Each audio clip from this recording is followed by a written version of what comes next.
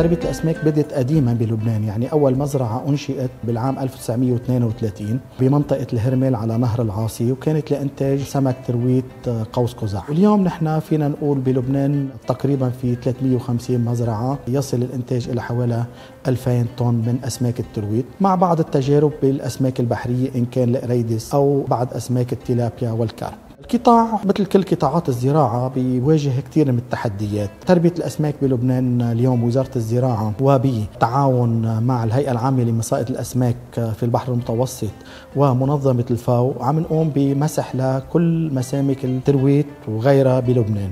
ونحن هلأ يعني في نهايات هالمسح هذا بناء على هالمسح هذا وزارة الزراعة بصدد تشريع وقوننة وعمل نظام لترخيص المنشآت والمسامك بلبنان.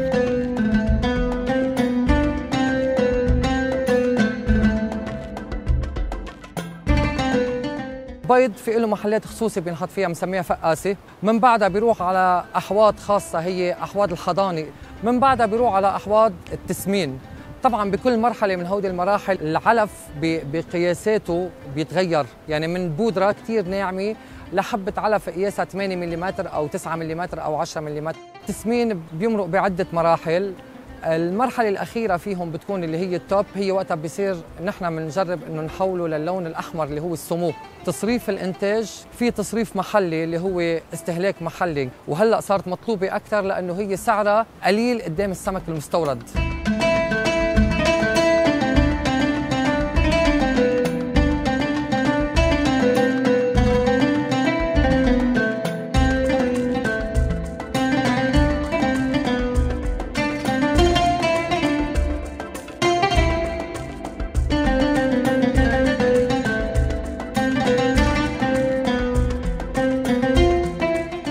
رؤية وزارة الزراعة نشجع عملية تربية الأحياء المائية بالبحر.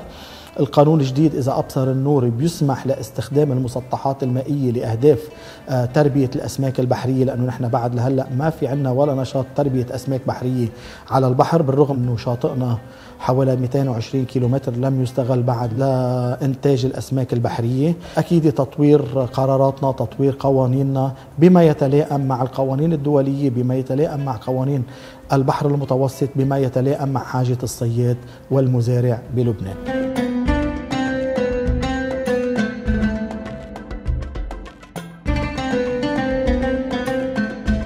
انطلاقا من أن لبنان فسيفساء متنوعة ومتميزة ارتكز تدخل الهيئة العامة لمصائد أسماك البحر الأبيض المتوسط خلال عملية المسح الشامل للمزارع السمكية على الكفاءات الوطنية.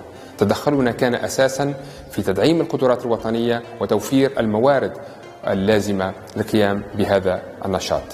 رؤيتنا للاستزراع السمكي بلبنان هو أن يساهم بطريقة أفضل في الأمن الغذائي اللبناني وكذلك يوفر فرص عمل جديدة مع احترام البيئة.